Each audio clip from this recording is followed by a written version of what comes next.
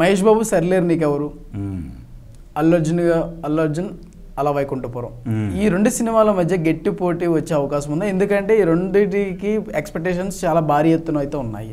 ఓ పక్కన చూసుకుంటే అనిల్ రావుపూడి డైరెక్టర్ ఓ పక్కన చూసుకుంటేనేమో త్రివిక్రమ్ గారు. ఎలా ఉంటుంది వీళ్ళిద్దరి మధ్య పోటీ ఈసారి?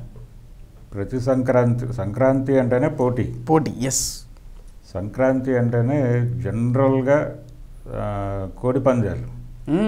ఫేమస్. కోడి పందాలు సినిమా పందాలు గాలిపటాల పందాలు ఇవన్నీ టోటల్గా ఒక పందాలకు సంబంధించినటువంటి పండగ సంక్రాంతి. ఓకే.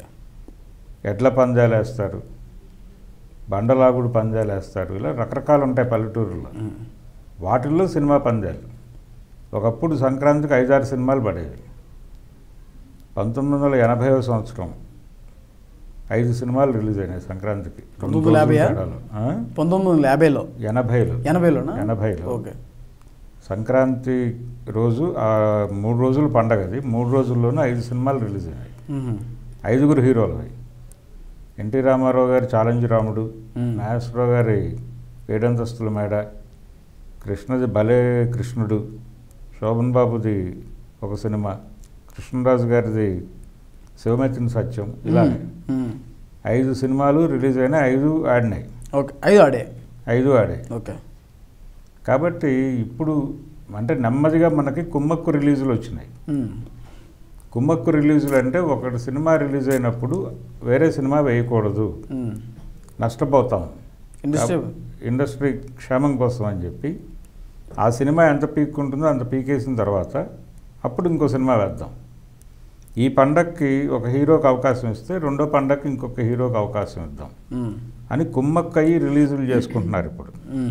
ఈ కుమ్మక్కు రిలీజుల టైంలో మనం ఉన్నాం కాబట్టి రెండు సినిమాలు ఒకేసారి పట్టడం మనకు ఆశ్చర్యంగా అనిపిస్తుంది. కానీ ఇది ట్రెడిషనే. ట్రెడిషన్ ప్రకారమే రెండు సినిమాలు వస్తున్నాయి. ఈ రెండు సినిమాల్లో ఏది బెటర్గా ఆడుతుంది అనేది ప్రేక్షకులు నిర్ణయిస్తారు. ఓకే. ఈ రెండిట్లో ఒకటి ప్రూవ్డ్ బ్యాచ్ ఉంది అక్కడ. అల్లు అర్జును త్రివిక్రమ్ శ్రీనివాస్. అవును. వాళ్ళు ఆల్రెడీ గతంలో రెండు హిట్ సినిమాలు ఇచ్చున్నారు. అవును. యువతల వైపు మహేష్ బాబు. మహేష్ బాబు ప్లస్ కొత్త డైరెక్టర్ అతనికి అనిల్ రావిపూడి. మహేష్ బాబుతో ఆ సినిమా సక్సెస్ చేయడం ద్వారా ఇండస్ట్రీలో పెద్ద డైరెక్టర్గా ఎదిగేటువంటి అవకాశం ఉంది అతనికి. అనిల్ రావిపూడి. కాబట్టి తన పూర్తి కాన్సన్ట్రేషన్ ఆ సినిమా మీద పెట్టాడు ఆయన. ఓకే. రెండో వైపు త్రివిక్రమ్ శ్రీనివాస్. అది అది పూర్తి ఎంటర్టైన్మెంట్తో ఉండే సినిమా అని చెప్తున్నారు. ఈ రెండు సినిమాలు కూడా పండగ ప్రజల పండగకి ప్రజలను ఎంటర్టైన్ చేయడం కోసం వస్తున్న సినిమాలే. దేని ప్రత్యేకత దాందే. ఓకే. దేని కెపాసిటీ దాందే. మహేష్ బాబు సినిమాకి భారీ ఓపెనింగ్స్ రావచ్చు. సినిమా బాగుంటే అది పెద్ద హిట్ అవ్వచ్చు. కానీ సినిమా ఎలా ఉన్నా కానీ అది డెఫినెట్గా ఒక ఒక మినిమం గ్యారంటీ సినిమాగా అయితే మిగులుతుంది. ఓకే. అలవైకుంఠపురంలో. ఒకవేళ ఇది ఏమైనా తగ్గితే అది పెద్ద హిట్ అయ్యేటువంటి అవకాశం కూడా ఉంది. ఓకే. అలవైకుంఠపురంలో. అంటే సేఫెస్ట్ జోన్లో అది ఉంది.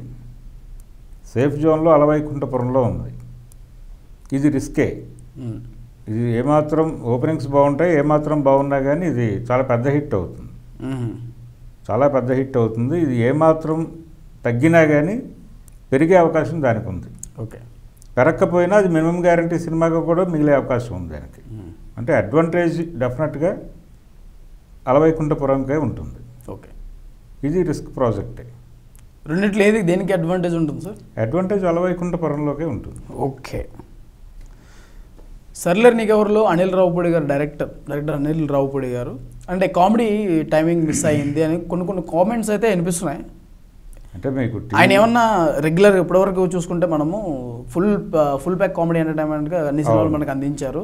దాంట్లో కొంచెం ఎమోషనల్ యాడ్ చేస్తారు. ఈ సినిమాలో మహేష్ బాబు గారు కాబట్టి కొంచెం యాక్షన్కి బాగా ప్రాధాన్యత ఇచ్చి ఇచ్చే అవకాశం ఉంది. రెండోది అది సైనికులకి సంబంధించిన సంబంధించిన సినిమా కాబట్టి కథ కాబట్టి చెప్పాడు ఆయన. ఎస్ ట్రైన్లో ట్రావెల్ అవుతుంటే ఒక సైనికుడు ఎదురయ్యాడు. అతని అనుభవాల నుంచి రాసుకున్న కథ అని కూడా చెప్పాడు ఆయన.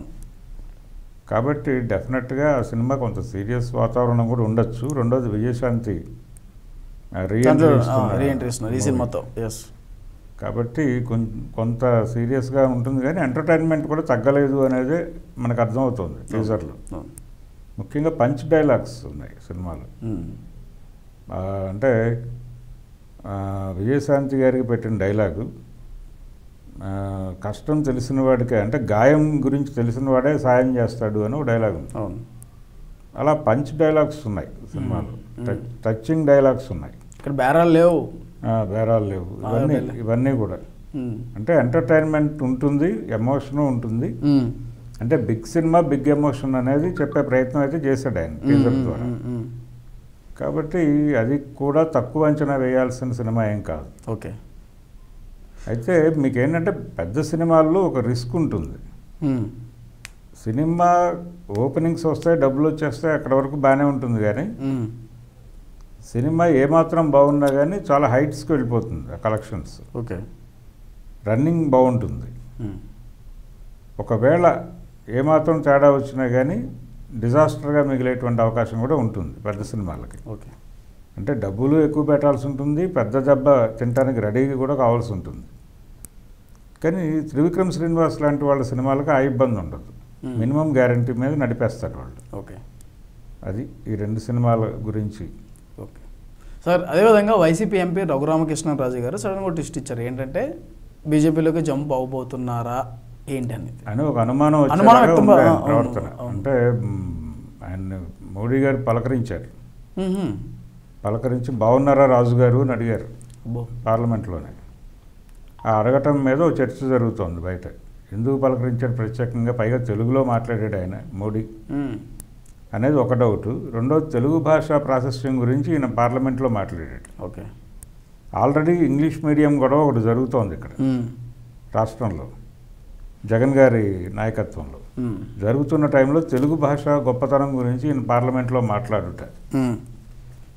మోడీ గారు ఇన్ని తెలుగులో పలకరించుట. ఈ రెండింటిని కం కంపేర్ చేసుకుని కొంతమంది ఈయన వైసీపీ నుంచి బీజేపీలోకి వెళ్ళిపోయేటువంటి అవకాశం ఉంది అని చెప్పి మాట్లాడుతున్నారు. కారణం ఏంటంటే ఆల్రెడీ ఒక ప్రచారం ఉంది. బీజేపీ ఆల్ తెలుగుదేశం పార్టీకి సంబంధించినటువంటి రాజ్యసభ విభాగాన్ని టేక్ ఓవర్ చేసింది. ఆల్రెడీ ఎంపీలు నలుగురు వెళ్ళిపోయారు. నెమ్మదిగా వైసీపీకి సంబంధించినటువంటి ఎంపీలను కూడా టేక్ ఓవర్ చేసే ప్రయత్నం మొదలవుతోంది అని. అంటే ఆంధ్రప్రదేశ్ రాష్ట్రంలో ఒక రాజకీయ అనిస్థితి కల్పించి. తను పాగా వేయాలి అని బీజేపీ అనుకుంటోంది అనేది ప్రతి ఒక్కళ్ళు అనుకుంటున్న మాటే తెలుగుదేశం పార్టీని బీజే వైసీపీ ద్వారా దెబ్బకొట్టించి ఆ తర్వాత వైసీపీని దెబ్బకొట్టి తన అధికారంలోకి రావాలి అని బీజేపీ అనుకుంటోంది. అని చాలా స్పష్టంగా మొద ఎన్నికల దగ్గర నుంచి జరుగుతున్నటువంటి ప్రచారమే. జగన్ గెలుపు వెనకాల కూడా కేంద్ర ప్రభుత్వ సహకారం ఉంది అని చాలామంది మాట్లాడారు. కాబట్టి తెలుగుదేశం పార్టీని వైసీపీని రెండింటినీ దెబ్బకొట్టే బదులు వైసీపీ ద్వారా తెలుగుదేశాన్ని దెబ్బకొట్టించి ఆ తర్వాత వైసీపీని పడగొట్టి తన అధికారంలోకి రావాలి అని బీజేపీ అనుకుంటోంది అని చాలామంది రకరకాలుగా మాట్లాడారు. దా ఆ వ్యూహంలో భాగంగానే ఇప్పుడు ఇతన్ని బీజేపీ వైపు లాక్కునే ప్రయత్నం చేసి ఉండొచ్చు. ఇతను కూడా ఎన్నికల ముందు వరకు తెలుగుదేశం పార్టీతో ఉన్నాడు. కరెక్ట్గా ఎలక్షన్ డేట్ అనౌన్స్ చేసినటువంటి టైం ఆ హాట్ అవర్స్లో అతను వైసీపీలోకి మారి అక్కడ ఎంపీ నర్సాపురంలో. నాగబాబు మీద గెలిచాడు ఇతను. కాబట్టి పార్టీలు మారటం అనేది ఈయనకి కొత్త కాదు. ఆయన బీజేపీకి వెళ్ళాడు అటు నుంచి బయటకు వచ్చాడు తర్వాత రకరకాల ప్రయత్నాలు చేశాడు. టీడీపీకి వెళ్ళాడు మళ్ళీ ఇప్పుడు బీజేపీ వైపు వెళ్తున్నాడు. కాబట్టి రెండోది ఆయన నేను తెలుగులో ఎందుకు మాట్లాడాను అనేది నేరుగా జగన్ అడిగితే వివరణ ఇవ్వగలను అని చెప్తున్నాడు ఆయన. మీడియాతో మాట్లాడుతున్నాడు ఆల్రెడీ. టీవీ ఛానల్స్కి ఇంటర్వ్యూలు ఇస్తున్నాడు ఆయన. కాబట్టి ఒక టేక్ ఓవర్ ప్రోగ్రామ్ అయితే ఉంది. ఈ విషయంలో మోడీ గారు ఏ రకమైనటువంటి మొహమాటం పెట్టుకోడు అనే విషయం మనకు మహారాష్ట్ర ఎపిసోడ్ నుంచి అర్థమవుతోంది. అంటే అయిపోయిందంతా శివసేన ప్రభుత్వం ఏర్పడబోతోంది అనుకుంటున్న టైంలో ఒక ట్విస్ట్ ఇచ్చి పైగా మేము ప్రభుత్వం ఏర్పాటు చేయాలనే మూడ్లో లేము అని ప్రకటించి ఇక శివసేన ప్రభుత్వ ఏర్పాటుకు రంగం సిద్ధమవుతున్నటువంటి దశలో ఆఖరి క్షణంలో టక్మని సీన్ మార్చేసి రాత్రికి రాత్రి సీన్ మార్చి ఫడ్నవీస్ని మహారాష్ట్ర ముఖ్యమంత్రిని చేశారు. ఇది చూసిన తర్వాత చాలామంది రాజకీయ నాయకులకి కళ్ళు బైర్లు గమ్మినాయి మోడీ అమిత్ షా వీళ్ళు ఏ క్షణంలో ఏదైనా చేయొచ్చు ఏదైనా చేయగలరు కూడా. కాబట్టి ఆంధ్రప్రదేశ్లో రాజకీయ సంక్షోభం తీసుకురావడం అనేది పెద్ద కష్టమేం కాదు వాళ్ళకి. కాబట్టి అందులో భాగంగానే ఎంపీలను టేక్ ఓవర్ చేస్తూ ఉండుండొచ్చు అనే మాట వినిపిస్తోంది. ఈ నేపథ్యంలో చూడాలి. ఈయన రాజీనామాని. ఈయన వైసీపీ నుంచి వెళ్ళిపోవటాన్ని ఈయన బీజేపీలోకి వెళ్ళటాన్ని. కాబట్టి ఇది చాలా చిన్న విషయం అయితే కాదు. వైసీపీకి ఒక దెబ్బ అయితే ఆంధ్రప్రదేశ్లో బీజేపీ రాబోతోంది అనడానికి ఇది ఒక ఇండికేషన్. ఓకే. తెలుగుదేశం పార్టీ పూర్తి స్థాయిలో పతనం అవుతుంది అనడానికి కూడా ఇది ఒక ఇండికేషన్. ఓకే. అలా చూడాలి ఇంది hey everybody this is me Noval please like share and subscribe to Mirror TV hi everyone నేను మీ Avantika Mishra. Please keep watching Mirror TV hi this Pavani Gangireddy keep watching Mirror TV do subscribe to Mirror TV. Thank you so much. Hi guys, I'm Naveen Polishetty and please subscribe to Mirror TV. Hi, this is Sandeep Kishan. Please subscribe to Mirror TV. Namaskaram Andi. Nenu Mishivatmika Rajshekhar. Please subscribe to Mirror TV. Hi, my name is Kriti Garg. Please subscribe to Mirror TV. Please keep watching Mirror TV. Thank you. Hi everybody, this is Tarun. Please subscribe to Mirror TV. Please subscribe to Mirror TV. Hi, this is Arya. Please subscribe to Mirror TV. Hi, this is Anand Devarkonda. Please subscribe to Mirror TV.